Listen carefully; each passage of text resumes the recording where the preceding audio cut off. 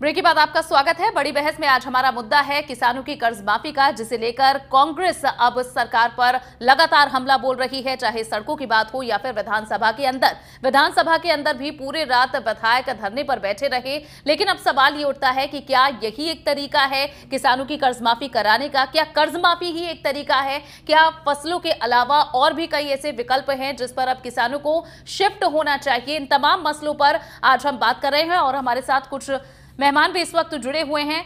सीधा चलेंगे नंदकिशोर जी।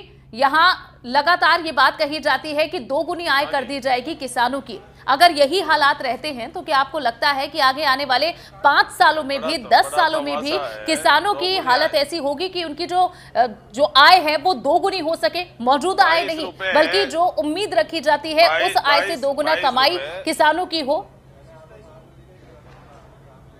अनु जी आज के दिन अगर परिवार की पूरे की आमदनी देखे तो बाईस रूपए पर आदमी एक दिन की आमदनी है। ये अगर चौवालीस हो जाएगी तो क्या होने वाला है? अगर आमदनी बढ़ानी है तो जैसे मोदी जी ने अमित शाह जी के बेटे की बढ़ाई उस तरह से कोई आमदनी बढ़ाए तो पार पड़े। किसानों को मैं मैं आपको बड़ा स्पष्ट कहना चाहता हूँ कि किसानों को कोई बीज की खाद की किसी भी तरह की सब्सिडी की आवश्यकता नहीं है। किसान किसी से भीख मांगना नहीं चाहता। किसान सिर्फ़ ये चाहता है कि जो गवर्नमेंट उसका समर्थन मूल्य मानती है वो समर्थन मूल्य उसको दे दे उसके बाद किसान को किसी के सामने हाथ फैलाने की ज़रूरत नहीं है। रही बात हमारे धरने की कल से हम धरना दे रहे हैं पिछले आठ सत्तर से चर्चा कर रहे हैं यूपी में चुनाव आते ही जब इन्होंने माफ़ कर दिया कर्जा राजस्थान में क्या तकलीफ़ आ रही है? जब बीजेपी यूपी में कर्जा माफ़ कर सकती है तो राजस्थान में क्यों नहीं कर सकती? इनके प्रधानमंत्री देश भर में बोल बोल के हा हा करके कहते हैं कि डेढ़ गुना समर्थन मूल्य देंगे और ये पूरा समर्थन मूल्य भी नहीं दे पा रहे हैं। राजस्थान में सुराज संकल्प यात्रा में कहा गया कि हम बारह फ़सलों को और समर्थन मूल्य श्रेणी में लाएँगे। ये एक को भी नहीं लेके आए। उस पर ये क्यों नहीं विचार करते? बहस की कहीं आवश्यकता ही नहीं है चर्चा की कहीं आवश्यकता नहीं है, बिल्कुल स्पष्ट है कि तत्कालीन राहत के लिए, आज की परिस्थिति में राहत के लिए एक बार इनको कर्ज माफ़ी करनी पड़ेगी और फिर अपने आप में सुधार करना पड़ेगा, सिस्टम में सुधार करना पड़ेगा और किसान की आय तभी बढ़ेगी जब उसको उसका पूर्ण समर्थन मूल्य मिलेगा।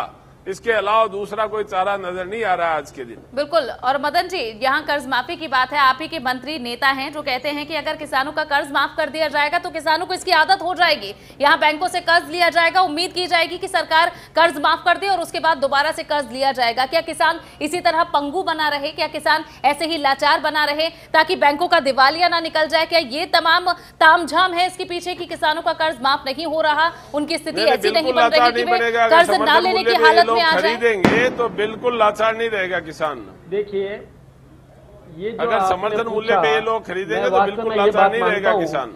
कि किसान को उसकी फ़सल सही ढंग से वो पैदा करे उसको इसका इसकी जानकारी दी जाए कि तो किस तो प्रकार का बीज काम में ले किस प्रकार की उर्वरक क्षमता उसकी बढ़ाए।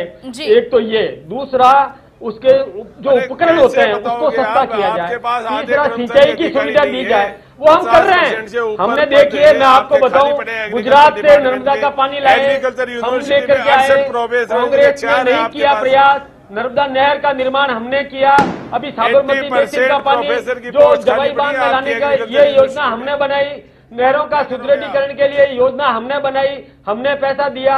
यही नहीं मृदा परीक्षण मदन जी आप कौन सी योजनाओं की बात करें? इन्हीं योजनाओं को लेकर इन्हीं योजनाओं को लेकर प्रताप जी की कह रहे हैं कि योजनाएँ सिर्फ़ कागज़ी हैं। किसानों को इसका कोई फ़ायदा नहीं हो रहा। ये कागज़ी नहीं आप सब लोग अपने आप को नरेंद्र मोदी समझने पेमेंट है। लगे, बड़ी प्रॉब्लम हो गई आपकी। किसान की उपज का जो उस पर खर्चा आता था उसमें कमी हुई है। तो फिर डीजल के पैसे बीच में क्यों खा रहे हो? किसान को क्यों नहीं डीजल क्या बात है। फ़सल?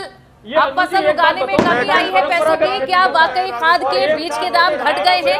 क्या बिजली के दाम घट गए हैं? क्या पानी मुफ़्त मिलने लगा है किसानों को? मैं आपको बताऊँ जी, चौधरी जी। बहुत शांतिपूर्वक सुना। मैंने मैंने अभी जो आपका ब्रेक हुआ विधायक जी ने कहा डिबेट की साठ तब बने रहे इसलिए सुने और मैं भी आपको सुनू ताकि जवाब दे पाऊँ। हम आदरणीय विधायक जी से पूछना चाहते हैं कि माननीय मुख्यमंत्री जी और प्रधानमंत्री जी देश की जनता के सामने गए तब प्रधानमंत्री जी ने यह वादा किया था कि जो लागत मूल्य होगा उसमें 50 परसेंट का लाभांश देकर हम एमएसपी का निर्धारण करेंगे। दूसरा, मुख्यमंत्री जी ने 611 वादे किए थे और उसके अंदर यह कहा था कि हम इन फ़सलों को एमएसपी के अंदर लेके आएँगे। प्रधानमंत्री जी ने 20 फरवरी 2015 को हल्फनामा दे के ये कह दिया सुप्रीम कोर्ट के अंदर कि हम ये जो लाभांश मूल्य है नहीं दे सकते। जी। मुख्यमंत्री जी ने सदन के अंदर यह कह दिया माननीय हमारे विधायक नंद किशोर जी ने पूछा था पटल पे पर्सन का जवाब देते उन्होंने कहा कि किसी भी इस तरह की फ़सलों को एमएसपी के दायरे में लाने की हमारी कोई प्रक्रिया नहीं है। ठीक। भारतीय जनता पार्टी की मानसिकता में अगर किसान प्राथमिकता में होता तो हम इनसे एक गुजारिश करना चाहते हैं कि आज आप यहाँ पटल पे बैठे हैं आप ये बता के जाएँ कि भारतीय जनता पार्टी आखिर किसान को कर्जा माफ़ी का जो एक महीने पहले दो महीने पहले जो वादा किया था एक महीने का समय दिया था आखिर किसान के लिए आपको बार बार इतना क्यों सोचना पड़ता है? जहाँ पे उपचुनाव होता है, वहाँ पे मुख्यमंत्री जी पंद्रह दिन लगातार वहाँ पे जाते हैं और जो मांगो वो घोषणा करते हैं, इस प्रदेश के किसान के साथ में सोतेला व्यवहार आखिर कब तक रहेगा? ये आज देखे जाएँगे तो निश्चित रूप से बात की सार्थकता लगेगी। अगर ये बताएँ, जिस किसान जो लोन लेता है, उस पर फ़सल बीमा योजना का जो बार बार जो ज़िक्र करते हैं, उस किसान की बिना मर्ज़ी के उसकी प्रीमियम काट ली जाती है, उसे ये पता नहीं कि मेरी प्रीमियम कौन सी कंपनी में गई है? मैं एक तथ्य बताना चाहता हूँ कि जो वित्त वर्ष 16 और 17 का जो था उसके अंदर सरकार ने बीस हज़ार करोड़ रुपए का प्रीमियम निजी कंपनियों को पे किया और उसके बदले किसानों को छह हज़ार सात सौ कुछ करोड़ रुपए का मुआवजा मिला। आखिर इन निजी कंपनियों को तेरह हज़ार करोड़ रुपए का एक साल के अंदर लाभांश देते हैं उस किसान की सोच क्यों नहीं? है जिस प्रकार ये मर्दा की बात करते हैं जिस प्रकार से और ये बहुत सी बातें करते हैं मैं इनसे पूछना चाहता हूँ कि आप ये बताएँ कि स्प्रिंकलर सिस्टम है ड्रिप इरिगेशन है इन सब के ऊपर आपने किसान की कितनी सब्सिडी गिठाई? आखिर आप तो ट्रक को कॉमर्शियल। सेगमेंट में ले जाना चाहते हैं। किसान को किस तरीके से जो लघु किसान है जो सीमांत किसान है जिसकी दो बीघा ज़मीन है जिसकी एक बीघा ज़मीन है है, आखिर वो किसान किस प्रकार मॉडर्नाइज खेती मदन जी। बता सकते इन्होंने एक बात बहुत बड़ी सत्य कही। इन्होंने कहा कि हमने किसानों के लिए बहुत से बहुत चौधरी जी आपने अपने सवाल उठा लिए। देखिए समय समय सभी को मिलेगा। मदन जी को भी पूरा समय दीजिए जवाब देने के लिए। जी चौधरी जी जरा रुकिए धैर्य रखिए अब जरा। आप जवाब तो सुनिए। कहिए आप मदन जी कहिए। तैयार नहीं है, ये क्या इन्होंने बात हो? गई? किसानों के नाम से ये क्या सम्मेलन ये तो ये चिल्लाते जाएँगे तो फिर कोई बात आएगी भी नहीं मैं आपको एक बात बताना चाहूँगा कि जैसे किसान की फ़सल जब खराब होती थी पहले पचास प्रतिशत से अधिक खराबे पर और बीमा लाभ मिलता था। हमने तैतीस प्रतिशत किया। यही नहीं हमने बीमा की राशि भी यानी प्रीमियम का जैसे उसको भी कम किया। यही नहीं हमने जो फ़सल बीमा का जो लाभ मिलता था उसको हमने बढ़ाया। डेढ़ गुना किया। पाँच छह हज़ार का नौ हज़ार लेकिन मदन जी वो फ़सल बीमा जी वो मुआवजा वो बीमा तो पहुँच ही नहीं पाता किसानों तक। आप चाहे उसकी मात्रा कितनी भी बढ़ा दें लेकिन वो मिलता कब है किसानों को? हम किसान नहीं किसान को मिल रहा है। बिल्कुल मिल रहा है। और ये कभी भी नहीं है कि किसान यदि लोन लेता है अब आप ये तो चौधरी जी ठीक बात नहीं है। जब किसान कर्जा लेता है तब वो बैंक उसका बीमा करती है। इसमें आप ये बता दें कर्ज लेगा तो बीमा करेगा। कोई बात नहीं हुई। ये तो गलत बात है। ये क्या चिल्लाने से नहीं काम कर सकता है? इस तरह से करेंगे तो मैं सोचता हूँ अनु जी आप इनको नहीं रोकेंगे तो मैं बात ठीक ठीक मदन जी आप कहिए। चौधरी जी आप जरा शांत रहे। जब किसान कर्जा लेता है तो कर्जा लेगा तो निश्चित रूप से उसका बीमा करवाई जाएगी। ये बैंक बीमा करवाना था। अपनी फ़सल सुरक्षित तो करेगी ना बैंक? इसमें कहा दिक्कत की बात है। किसान यदि अपना खुद की बिना ब्याज बिना लोन लिए यदि करता है तो प्रीमियम वो जमा कराएगा तभी कटेगा। इसके अलावा नहीं कटेगा। गलत जानकारी किसान को मत दीजिए। जनता में भ्रम पैदा करने की कोशिश मत कीजिए।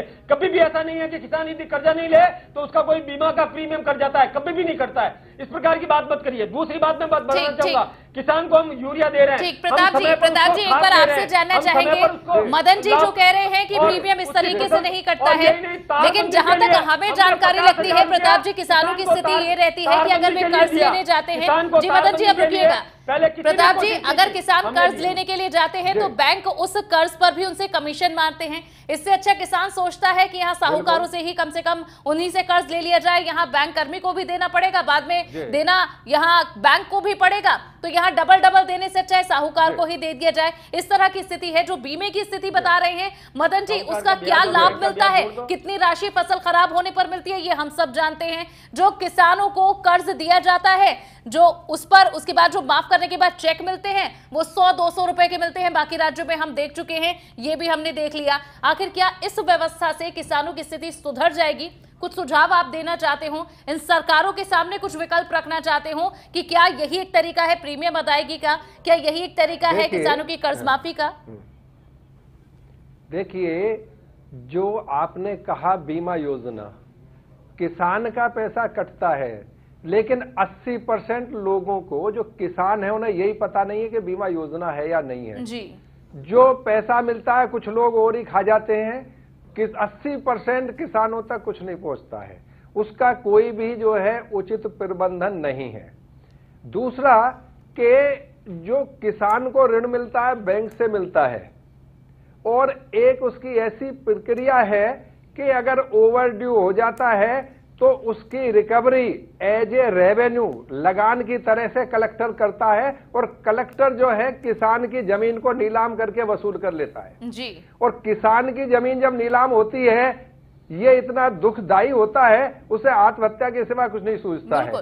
तो एक जो पूंजीपति है उसके लिए तो ऋण वसूली की व्यवस्था दूसरी है कोर्टों के द्वारा है उन्हें आप पकड़ भी नहीं के पाते। द्वारा है कि जाते ही हाँ तुरंत जाके और उसकी ज़मीन नीलाम कर दीजिए। बहुत अच्छा है।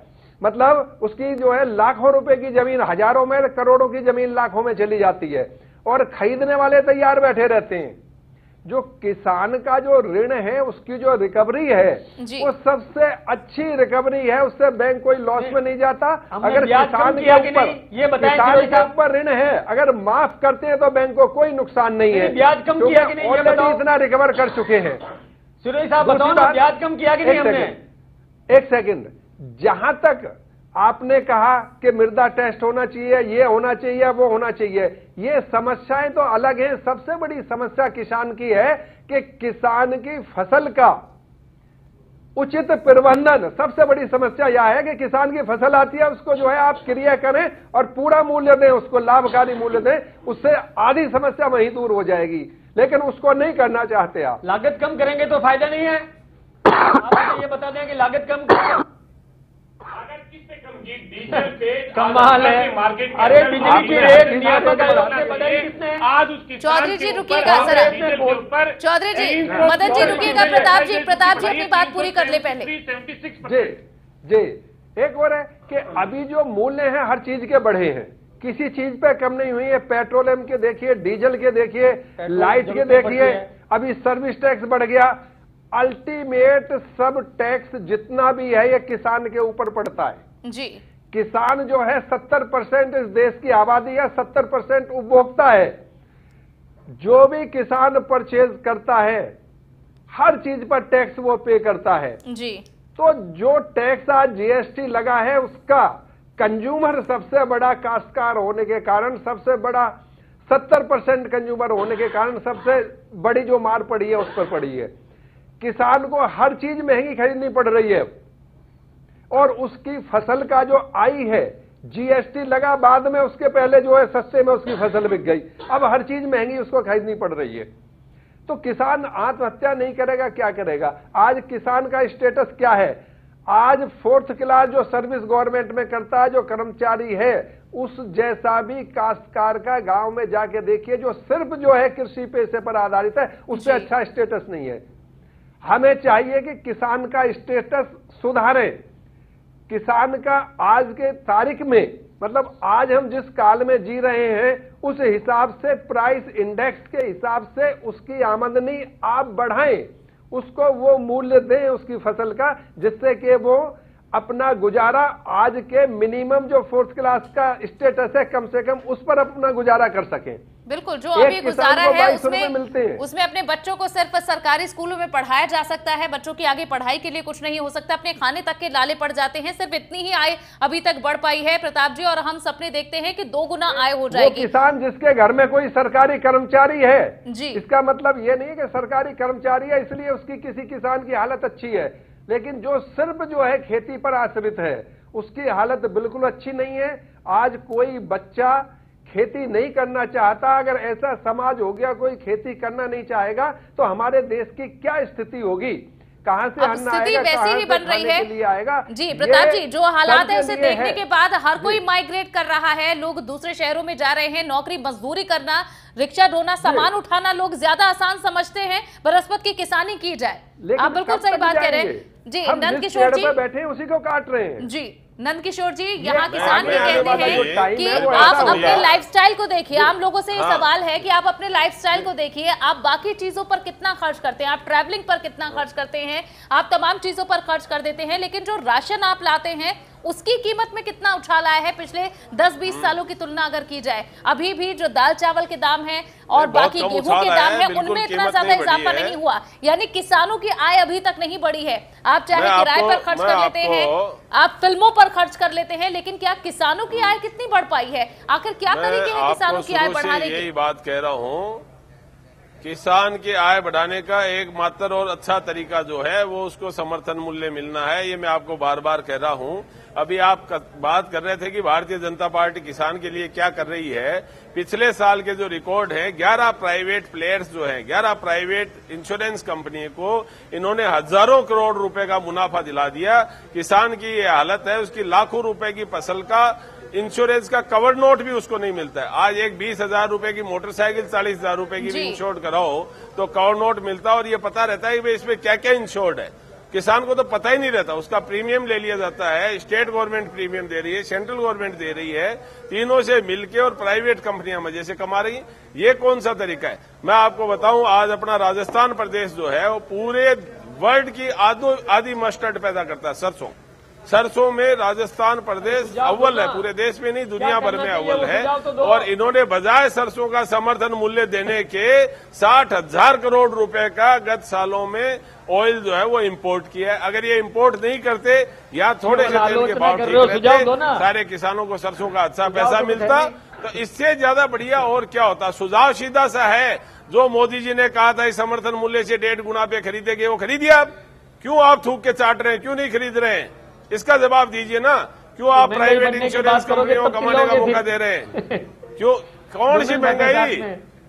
महँगाई तो बढ़ेगी ना। किसान के ऊपर तो सारे बाहर पड़ रहे हैं। राज भी रूसा हुआ है राम भी रूठा हुआ है कभी अकाल पड़ता है कभी ओले पड़ते हैं। क्या सुविधा लागत कम करो। इंश्योरेंस के नाम ये है जिस तरह से घपला इसके तो लिए तैयार तरह से केंद्र सरकार घपला कर रही है। ये हम करेंगे। ये हम करेंगे और हम कर रहे हैं। हम कर रहे हैं। हमने किया नोटबंदी के बाद किसान की जो कांग्रेस के भी नेता यहाँ पर बैठे हुए हैं जब केंद्र में भी आपकी सरकार रहती है राज्य में भी सरकार रहती तो है तब भी किसानों के ये हाल रहते हैं। और अब मौजूदा स्थिति में भी सरकार राज्य में भी उसी पार्टी की है और केंद्र में भी तभी भी हाल है। तो कैसे बदलेगी स्थिति? हाँ, बिल्कुल ठीक कह रहे हैं कुछ इंतज़ाम करेंगे। वही मैंने बताया कि हमने तैतीस प्रतिशत खराबे पर किसान को बीमा देने का कोशिश की। ये मैंने किया। हमने ये भी किया कि उसके ब्याज की रेट कम हो। ये भी हमने किया। किसान अपना माल भंडारण में रख सकता है ब्याज पर बैंक से रुपया ले सकता है ये हमने किया। हमने ये भी किया कि किसान अपने गोदाम में पचास पचास लाख रुपया प्रत्येक पंचायत में हमने दिया। ताकि वो आप को सिर्फ़ के लिए ज़्यादा पचास पचास हज़ार रूपया दिया।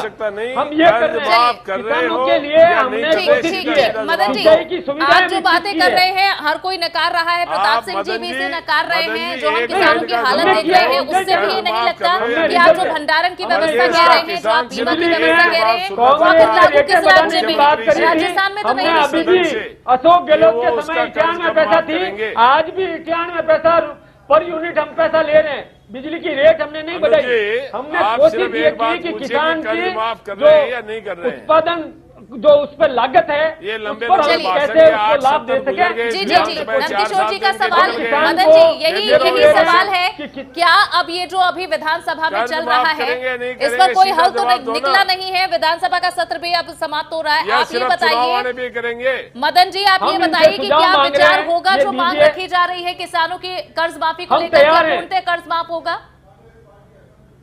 हम तैयार हैं पचास पचास हज़ार रूपया तो लाभ देने के लिए तैयार है तो घोषणा घोषणा भी की है। अरे घोषणा सरकार आप आप हल्ला करो। ये ना केवल चिल्लाओ। सदन की ये बात ठीक है क्या? सदन में आपको जनता ने किस लिए भेजा है? यहाँ इसलिए भेजा है कि आप चर्चा करो। अपने दिमाग से सलाह दो। अपना दिमाग का उपयोग करो। सलाह दो। अच्छा सार करके सुझाव दो। इसलिए आपको। विधानसभा में भेजा है। हंगामा करने के लिए नहीं भेजा है। आप केवल हंगामा करते रहो इससे तो कोई सुझाव नहीं मदन जी अभी अभी सरकार का क्या विचार बना है? मदन जी क्या उम्मीद रखी जाए कि आने वाले दिनों में इस मांग पर जी जी इस पर क्या विचार किया जा रहा है? करेंगे सदन में भी देंगे जाना पड़ेगा। हम किसान की पूरा विपक्ष एकजुट है और कर्ज माफ़ी करा के रहेंगे हम करने के लिए तैयार है। हम किसान की लागत कम करेंगे ये हम करने के लिए हो तैयार हैं। सरकार से? हमने ये भी कोशिश की है तैयार? अपना खेत अपना काम तैयार है तो सुबह घोषणा चलिए ठीक है ठीक है चौधरी जी चौधरी जी एक आखिरी प्रतिक्रिया। यहाँ विधानसभा में रात तो गुजार ली अब आगे क्या किस तरह से आगे आंदोलन आप लेकर बढ़ेंगे कैसे विवश किया जाएगा सरकार को अनु जी इस सरकार हम लगातार आंदोलन करेंगे अभी सदन के अंदर आंदोलन चल रहा है उसके बाद सदन के बाहर आंदोलन करेंगे चाहे हमें सड़क पे जाना पड़े तो सदन की नेता जाना माननीय मुख्यमंत्री सदन के अंदर इस तरह से कल इनको काला कानून वापस लेना पड़ा परवर समिति को भेजना पड़ा वही हालत किसानों में मालूम सरकार की होने वाली है। जी, जी, आप कल सुबह ये ओबीसी के बारे में जानबूझ अनु के ऐसा विधेयक लाने जा रहे हैं बार बार गुजारिश पता है कि हैं। जी, आप तक मेरी आवाज़ पहुँच रही है? उसके बावजूद ये गुजरों को गुमराह करने के लिए ओबीसी को गुमराह करने चलिए शायद उन तक मेरी आवाज़ नहीं पहुँची उनकी आवाज़ थोड़ी कम कर दी जाए जी चौधरी जी आप कहें अनु जी कांग्रेस कटिबद्ध है किसान की संपूर्ण कर्जा माफ़ी के लिए एक चीज़ दूसरा यहाँ पे विधायक जी बैठे हैं राठौड़ साहब वरिष्ठ नेता हैं क्या माननीय मुख्यमंत्री की इजाज़त के बिना ये बता सकते हैं कि हम किसानों का इतना कर्जा इस तय समय के अंदर माफ़ कर देंगे? हम इनसे जब डेढ़ दो महीने पहले जब किसान के साथ में वार्ता होती है चौधरी जी मेरे पास समय नहीं है। आप बस, आप बस इतना आज बताएँ आगे कांग्रेस का क्या कदम होगा? देखिए सरकार की मजबूरी थी सदन को बुलाना। सरकार अगर इसके प्रति गंभीर होती तो सदन की नेता माननीय मुख्यमंत्री उस सदन के अंदर होती और सरकार का दायित्व बनता है कि वो सदन को चलाए। सरकार की ऐसी कोई अनुशंसा नहीं। हम सदन सदन डिजोल हो सकता है लेकिन तो कांग्रेस है वो सड़कों पे किसान की लड़ाई लड़ती रहेगी। जब तक कर्जा माफ़ नहीं होगा तब तक लड़ाई लड़ेगी। ठीक प्रताप जी एक सुझाव आपसे चाहेंगे? सरकार को विपक्ष को आप देना चाहें जो हालात अभी बने हुए हैं उसे देखकर। इसके अलावा कुछ नहीं है। जी।